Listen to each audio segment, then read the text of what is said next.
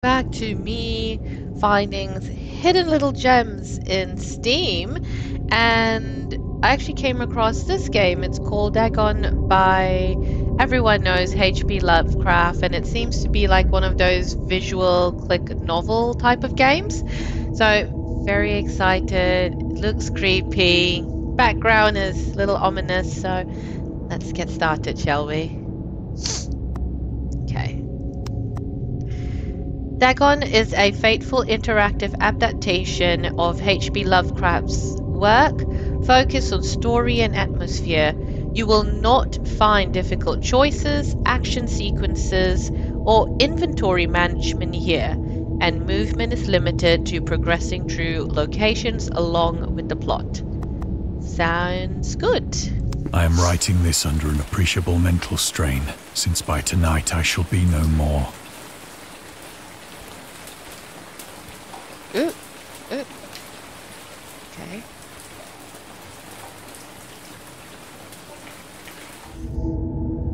During the game, you will encounter interactive elements. Some of them will allow you to continue your journey.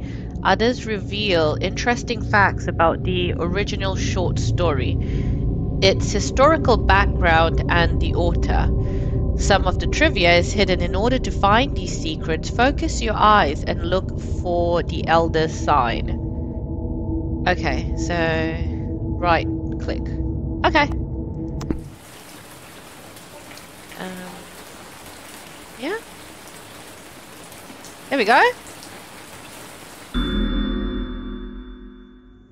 Lovecraft's letters. As to letters, my case is peculiar. I write such things exactly as easily and as rapidly as I would utter the same topics in conversation.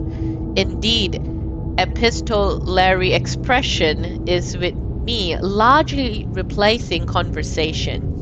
As my condition of nervous prostration becomes more and more acute, I cannot bear to talk much now, and I am becoming as silent as the spectator himself. My loquacity extends itself on paper. H.P. Lovecraft to Reinhard Kleiner, December 23, 1917. Throughout his life, Lovecraft penned around a hundred thousand letters to his friends and fans, out of which about 10% survived to this day but his tendency to endless correspondence was a relatively late growth. In youth, I scarcely did any letter writing. Thanking anybody for a present was so much of an ordeal that I would rather have written a 250 line pastoral or a 20 page treaty on the rings of Saturn. Selected letters 1929 to 1931 H.P. Lovecraft. Lovecraft would often skip meals to afford postage. Collections of his correspondence have been published in various books, and selected letters can be found online. Some readers consider them his most important legacy. Okay. You can read the discovered trivia immediately or go back to them later in the main menu. Turn off displaying trivia if you find that the feature distracts you from the story. This can be changed anytime in the options. Now, I, I like the trivia. Wait, do show trivia upon finding them. Yeah, I want to see him. Okay. Penniless, and at the end of my supply of the drug which alone makes life endurable, I can bear the torture no longer, and shall cast myself from this garret window into the squalid street below. Do not think from my slavery to morphine that I am a weakling or a degenerate. When you have read these hastily scrawled pages, you may guess, though never fully realize, why it is that I must have forgetfulness or death. Eh. Morphine. Morphine entered into use in the 19th century and was routinely administered to treat severe pain during the American Civil War 1861 to 1865 and World War I 1914 to 1918. It was almost sold without restrictions until 1914. Morphine became more popular after the invention of the hypodermic syringe around 1854. Friedrich Serturner, I apologize if I butchered your name, who first isolated the substance, originally named it morphium, after Morpheus, the Greek god associated with dreams. Huh, never knew that. At the time when Dagon was published, morphine abuse, known as soldier's disease, already posed a big problem in the United States. Right, there's one more.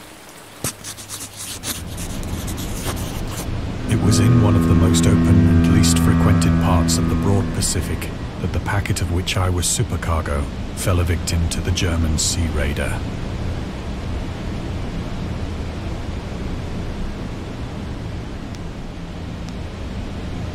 I'm assuming we look at here.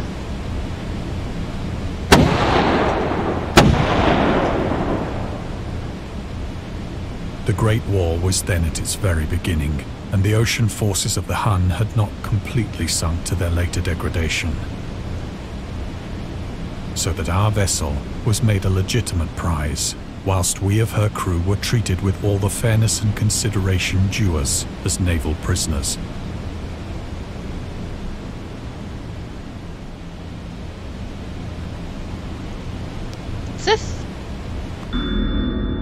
The Huns.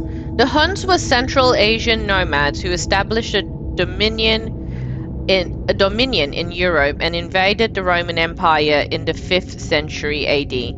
They were known as brutal, deadly warriors and masters of quick raids who also developed powerful composite bows, lassos, and early siege weapons.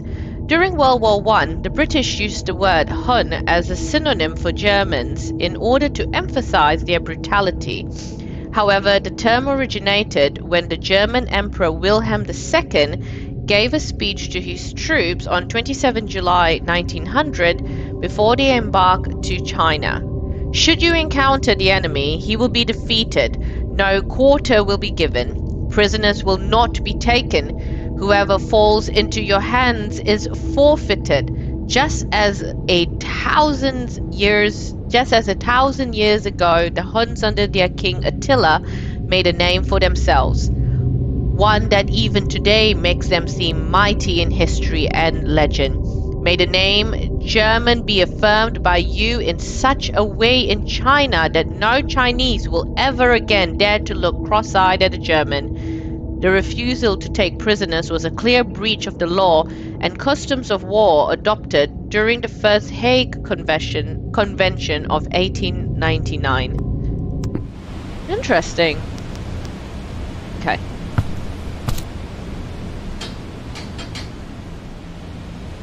So liberal, indeed, was the discipline of our captors that five days after we were taken, I managed to escape alone in a small boat with water and provisions for a good length of time. Um. Okay, nothing here. Oh! When I finally found myself adrift and free, I had but little idea of my surroundings. Never a competent navigator, I could only guess vaguely by the sun and stars that I was somewhat south of the equator. Of the longitude, I knew nothing, and no island or coastline was in sight.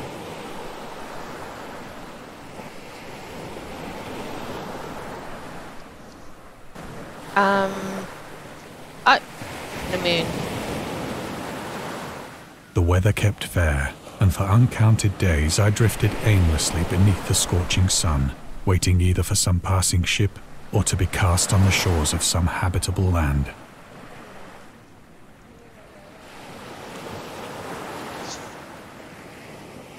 Still better water graphics than God of War. The new one. Just saying.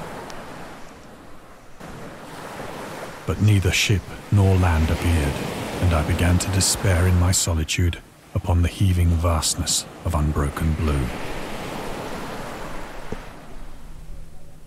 The change happened whilst I slept. Its details I shall never know, for my slumber, though troubled and dream infested, was continuous.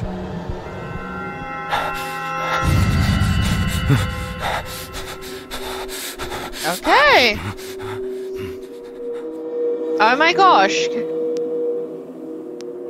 When at last I awoke, it was to discover myself half sucked into a slimy expanse of hellish black mire, which extended about me in monotonous undulations as far as I could see, and in which my boat lay grounded some distance away.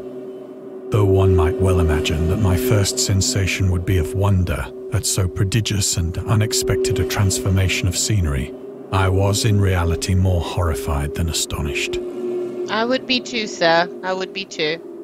For there was in the air and in the rotting soil a sinister quality which chilled me to the very core.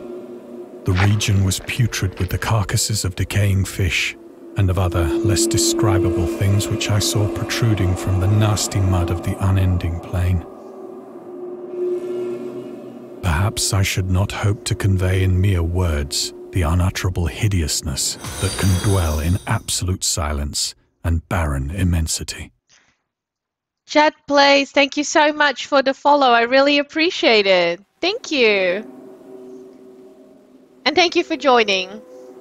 There was nothing within hearing, and nothing in sight, save a vast reach of black slime. Yet the very completeness of the stillness and the homogeneity of the landscape oppressed me with a nauseating fear. The sun was blazing down from a sky which seemed to me almost black in its cloudless cruelty, as though reflecting the inky marsh beneath my feet. It looks like a desert now. Behind me looks like a desert.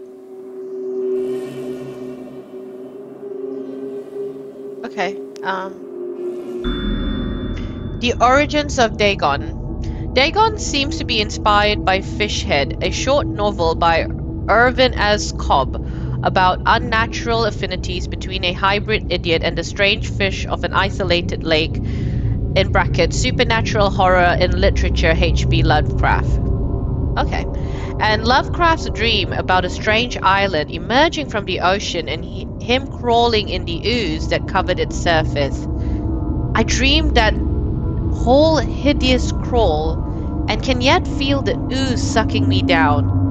In defense of Dagon, H.P. Lovecraft.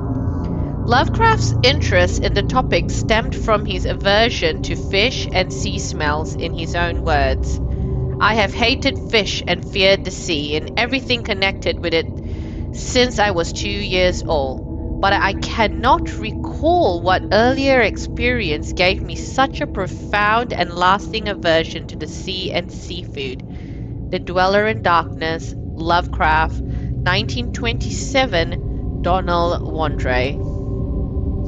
The ocean is very ominous. I mean, I'm always been gravitated to the ocean and the water, but I can see having fear.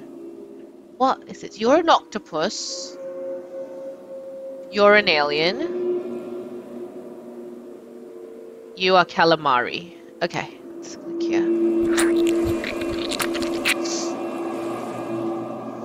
As I crawled into the stranded boat, I realized that only one theory could explain my position. Through some unprecedented volcanic upheaval, a portion of the ocean floor must have been thrown to the surface, exposing regions for which innumerable millions of years had lain hidden under unfathomable watery depths. So great was the extent of the new land which had risen beneath me that I could not detect the faintest noise of the surging ocean straining my ears as I might. Nor were there any seafowl to prey upon the dead things. Hmm. Fish. For several hours I sat thinking or brooding in the boat, which lay upon its side and afforded a slight shade as the sun moved across the heavens. As the day progressed, the ground lost some of its stickiness and seemed likely to dry sufficiently for travelling purposes in a short time.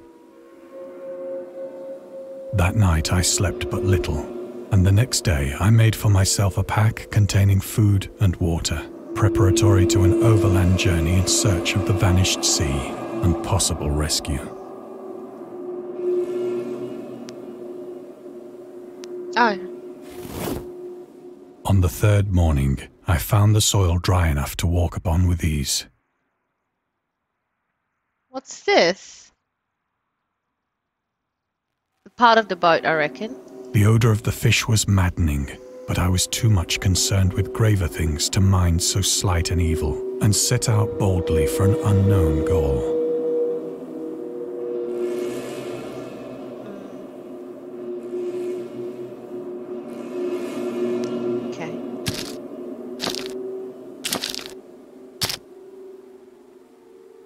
All day I Oh. forged steadily westward, guided by a faraway hummock which rose higher than any other elevation on the rolling desert.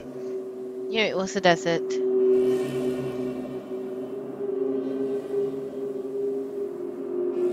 Looks like gold and aliens. Okay.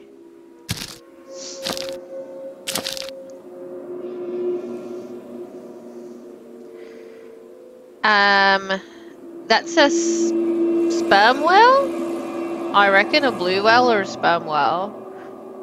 These are crab alien creatures. That night I encamped, and on the following day still travelled toward the hummock, though that object seemed scarcely nearer than when I had first espied it.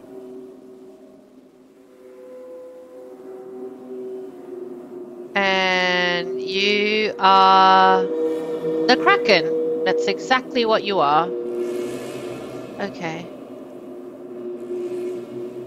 Okay, there's nothing else here. So let's go forward.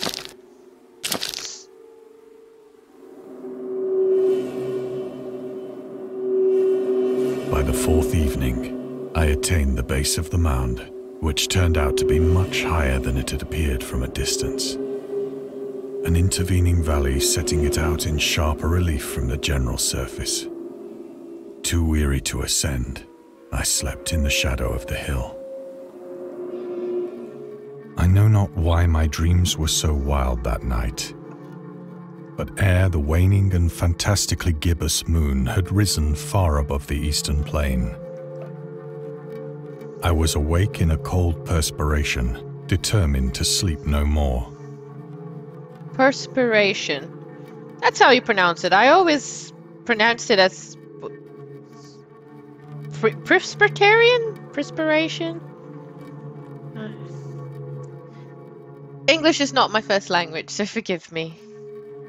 Such visions as I had experienced were too much for me to endure again. And in the glow of the moon, I saw how unwise I had been to travel by day. Without the glare of the parching sun, my journey would have cost me less energy. Indeed, I now felt quite able to perform the ascent which had deterred me at sunset.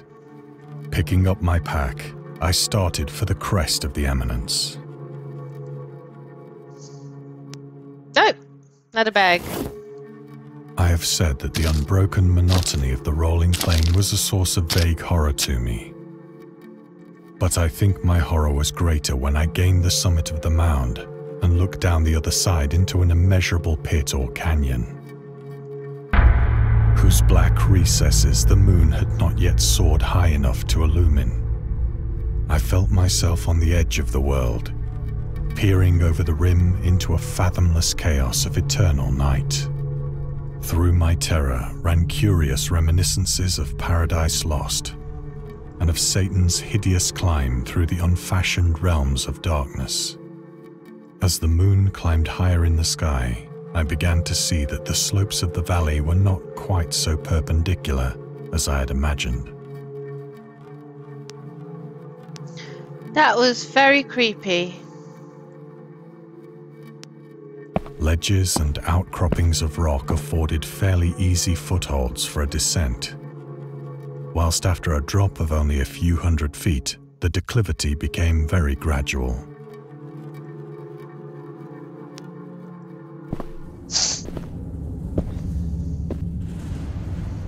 Urged on by an impulse which I cannot definitely analyze, I scrambled with difficulty down the rocks and stood on the gentler slope beneath, gazing into the Stygian deeps where no light had yet penetrated. All at once, my attention was captured by a vast and singular object on the opposite slope, which rose steeply about a hundred yards ahead of me. An object that gleamed whitely in the newly bestowed rays of the ascending moon.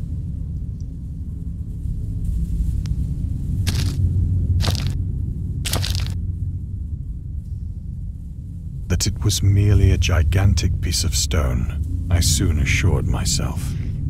That's no stone, sir. That's alien mirror. But I was conscious of a distinct impression that its contour and position were not altogether the work of nature.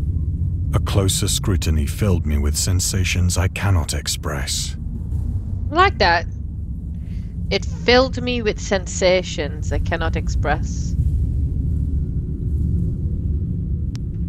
For despite its enormous magnitude and its position in an abyss which had yawned at the bottom of the sea since the world was young, I perceived beyond a doubt that the strange object was a well-shaped monolith, whose massive bulk had known the workmanship and perhaps the worship of living and thinking creatures. Dazed and frightened, yet not without a certain thrill of the scientist's or archaeologist's delight, I examined my surroundings more closely. Okay. Um, I don't see... Can I walk? I can't walk.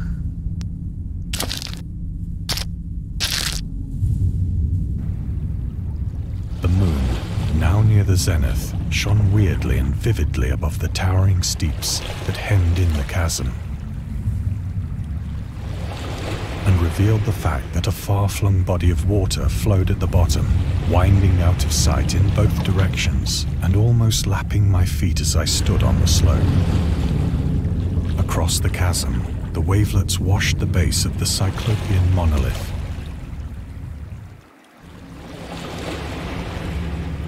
Why do I have goosebumps? I have goosebumps. On whose surface I could now trace both inscriptions and crude sculptures.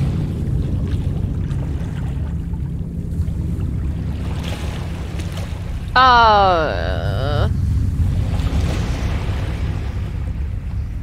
uh. The writing was in a system of hieroglyphics unknown to me and unlike anything I'd ever seen in books consisting for the most part of conventionalized aquatic symbols such as fishes, eels, octopi, crustaceans, mollusks, whales, and the like. This is nice. This is pretty. I like this. That seahorse on the far right, um, I have that tattooed, and that's actually from a H.P. Lovecraft book on how he described a seahorse. I have that. Several characters obviously represented marine things which are unknown to the modern world. Kraken. Whose decomposing forms I had observed on the ocean-risen plain. It was the pictorial carving, however, that did most to hold me spellbound. Kraken. Storytelling methods. Dagon contains many themes and storytelling methods that Lovecraft developed in his later works, such as telling the story through carvings at the Mountains of Madness, the Nameless City, journals and character notes, The Shadow Out of Time, The Haunter of the Dark, islands emerging from the ocean, The Call of Cthulhu, or fictional beings and deities based on real events and mythologies, Mi-Go in The Whisperer in Darkness. It's also considered the origin of the popular Cthulhu mythos. Some of Lovecraft's other stories also conclude in a manner similar to Dagon, but let's skip the details in order to not to spoil the ending. Nice. Plainly visible across the intervening water on account of their enormous size were an array of bas reliefs whose subjects would have excited the envy of a Doré. I think that these things were supposed to depict men, at least a certain sort of men. Though the creatures were shown disporting like fishes in the waters of some marine grotto, or paying homage at some monolithic shrine which appeared to be under the waves as well. Of their faces and forms I dare not speak in detail, I don't want to know either. for the mere remembrance makes me grow faint. Yep, that's grotesque not. beyond the imagination of a Poe or a Bulwer. They were damnably human in general outline, despite webbed hands and feet, shockingly wide and flabby lips, glassy, bulging eyes, and other features less pleasant to recall. Curiously enough, they seem to have been chiseled badly out of proportion with their scenic background. For one of the creatures was shown in the act of killing a whale, represented as but little larger than himself. Mermaid. I Mermaid. remarked, as I say, their grotesqueness and strange size, but in a moment decided that they were merely the imaginary gods of some primitive fishing or seafaring tribe. Some tribe whose last descendant had perished eras before the first ancestor of the Piltdown or Neanderthal man was born. Oh, oh. The Piltdown Man. Lovecraft would often use the latest scientific discoveries as inspiration for his work. He would even update his stories at the last moment in order to make sure they reflected the latest breakthroughs. Unfortunately, this method was not without its flaws.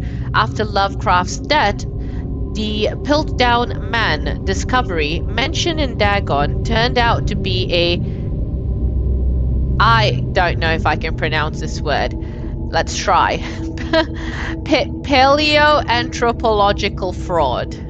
Paleoanthropological fraud. We did it! In 1912, Charles Dawson, an amateur arch- archaeologist, announced that he had discovered the missing link between ape and man. Charles Darwin? The fossilized remains of a previously unknown early human. Years later, they turned out to be a forgery.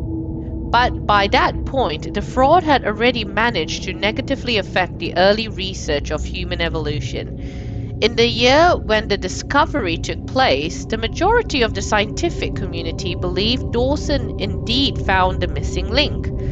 In 1953, Time magazine published evidence pro- proving that Dawson was a con man. It turned out that the fossils of the previously unknown early human consisted of a human skull, the joy of an orangutan, and chimpanzee teeth. I'm curious, do they mean Charles Dawson as in Charles Darwin?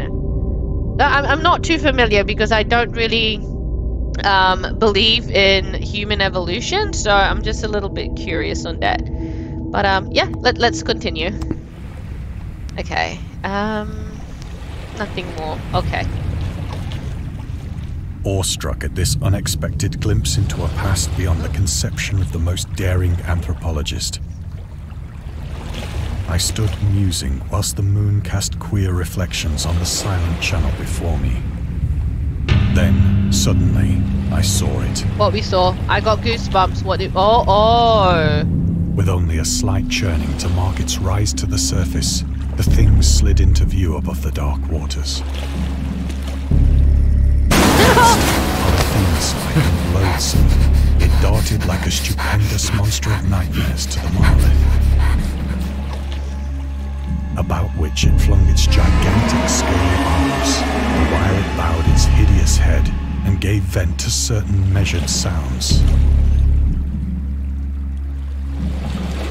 I think I went mad then. Ah, I would go mad too. Of my frantic ascent of the sloping cliff and of my delirious journey back to the stranded boat, I remember little. Oh, oh. Okay. Um. Um. Okay.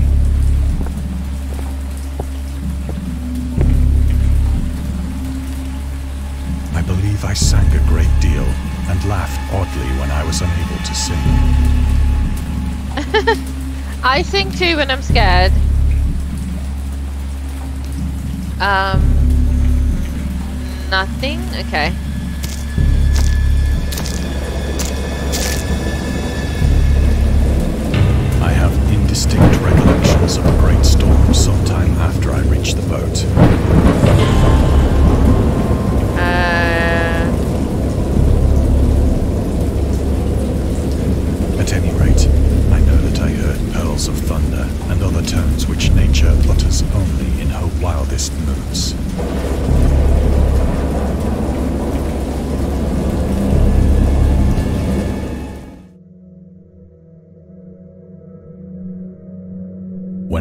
Out of the shadows, I was in a San Francisco hospital.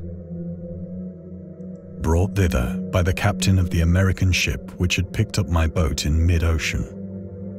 In my delirium, I had said much, but found that my words had been given scant attention.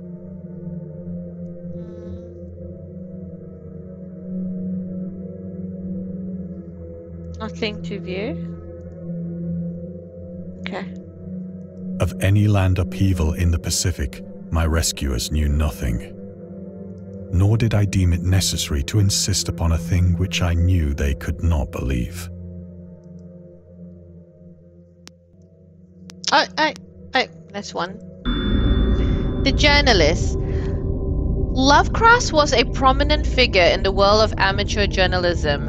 In 1915, he started publishing his own journal called The Conservative, which included political and social commentary, poetry, short stories, and literary criticism written by him and other authors. Howard was a skilled wordsmith, but he also took criticisms to heart, which resulted in his decision to step away from writing poetry and concentrate on weird fiction again, for the first time since his teenage years. Dagon, published in 1919, is one of the short stories written during that period. In this example excerpt from The Conservative, the master of horror fiction explains his attitude towards warfare and the idea of world peace. Why any sane human being can believe in the possibility of universal peace is more than the conservative can fathom. Fathom. Should the entire civilized world agree simultaneously to disarm one or more nations would undoubtedly re- retain secret armaments and at the proper time take advantage of their more altruistic and less astute contemporaries in a wild career of conquest against unarmed victims. No country is or ever can be above warfare until the basic impulses of the human animal shall have miraculously changed. Very true. Okay. Um, let's continue. I think we're nearly done. Once I sought out a celebrated ethnologist and amused him with peculiar questions regarding the ancient Philistine legend of Dagon, the fish god.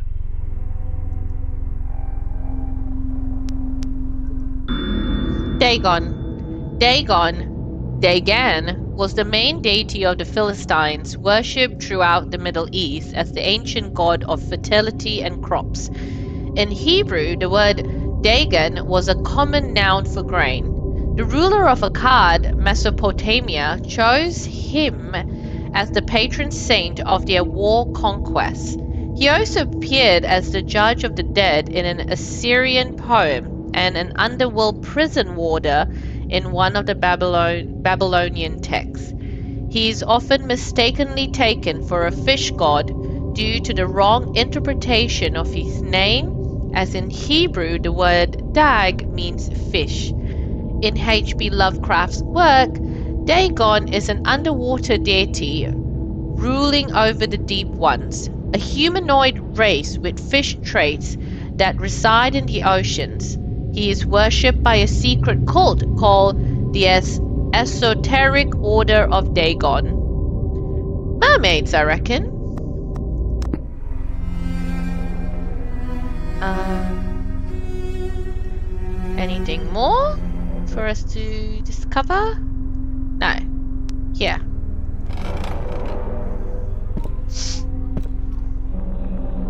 But soon perceiving that he was hopelessly conventional, I did not press my inquiries.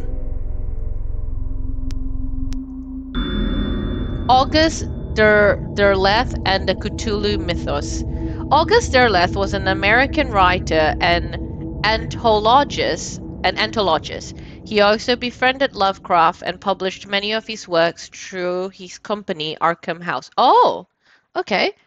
Although he greatly contributed to the popular popular ha popularization of the author's work after his death, he is surrounded by numerous controversies.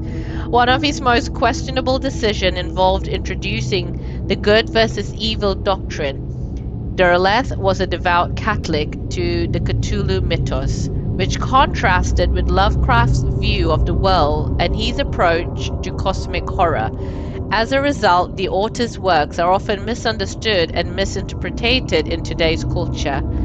It is also worth noting that Lovecraft was never really interested in creating a mythology, and the term Cthulhu mythos was coined by Derleth after the author left the mortal plane. Interesting. Uh, the marketer. Marketer? Lovecraft's attempt to find a job in 1925 were influenced by advice he received from friends, among others. He started freelancing for a marketing magazine, where he would write announcements and commercials. Feel free to judge his copywriting skills for yourself. From an ad from Curtis Woodwork. Curtis Woodwork embraces both the unusual structural units and the cleverest contrivances of built-in or permanent furniture, such as bookcases, dressers, buffets, and cupboards. Every model is conceived and created with the purest art, ripest scholarship, and mellowest craftsmanship, which energetic enterprise can command, and made to conform rigidly to the architecture of each particular type of home. The cost, considering the quality, is amazingly low and a trademark on the individual pieces prevents any substitution by careless contractors. Source Lovecraft Studies, Volume 7, Number 1, H.P. Lovecraft, uh, St. Joshi or S.T. Joshi? Aha, that's funny. Um,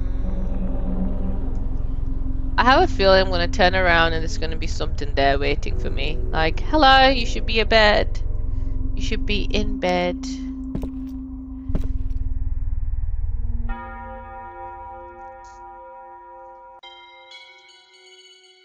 Nothing?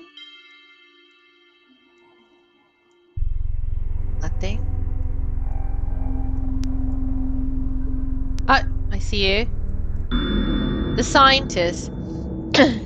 These days, the word scientist is a widely accepted term, but at the time Dagon was, pub- the Dagon was published, it was subject to a wide debate.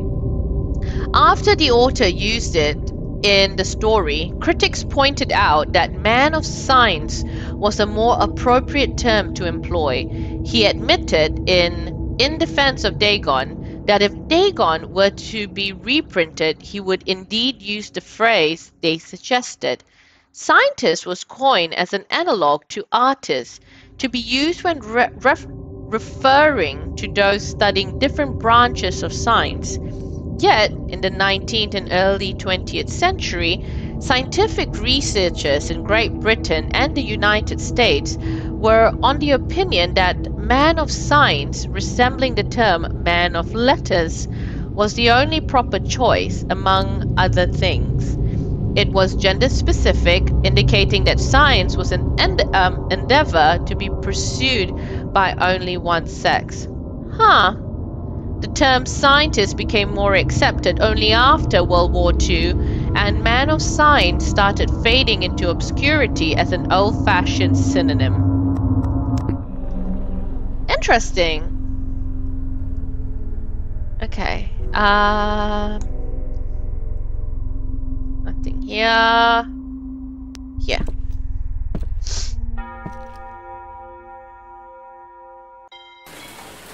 It is at night, especially when the moon is gibbous and waning, that I see the thing.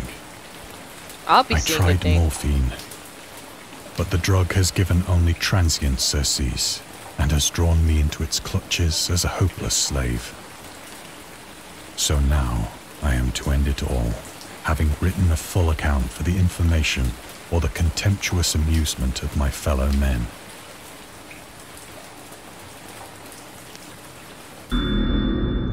Lovecraft on tobacco and alcohol.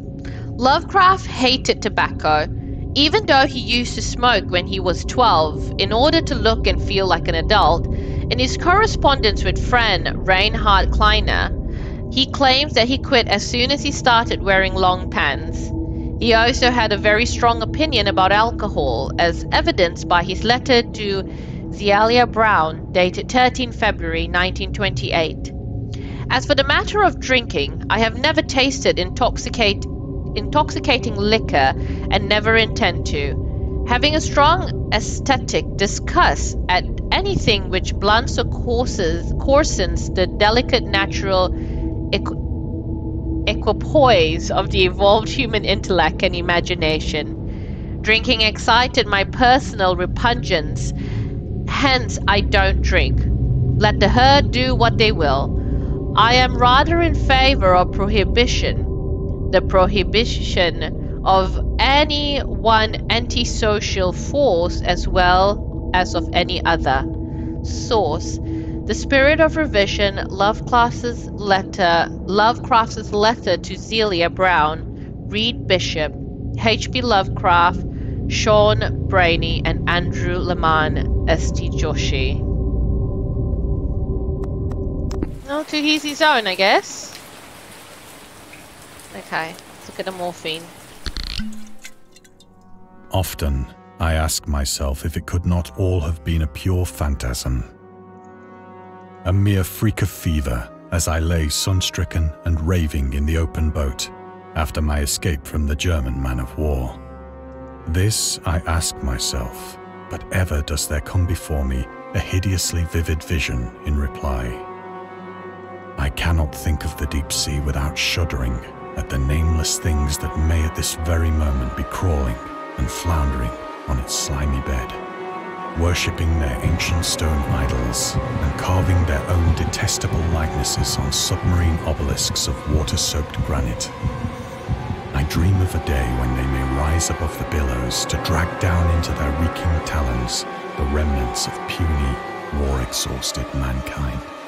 Of a day when the land shall sink and the dark ocean shall ascend amidst universal pandemonium. Godzilla!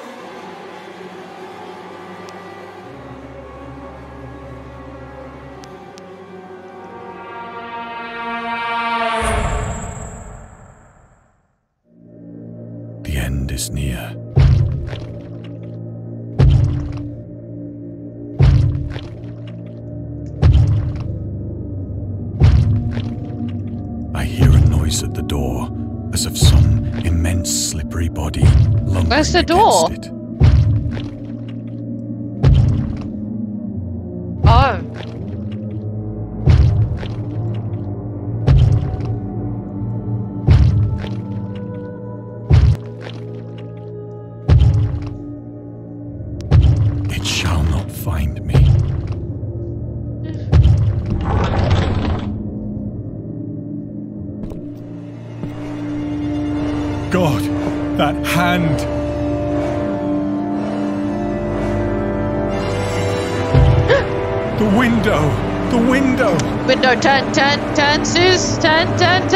Turn, turn,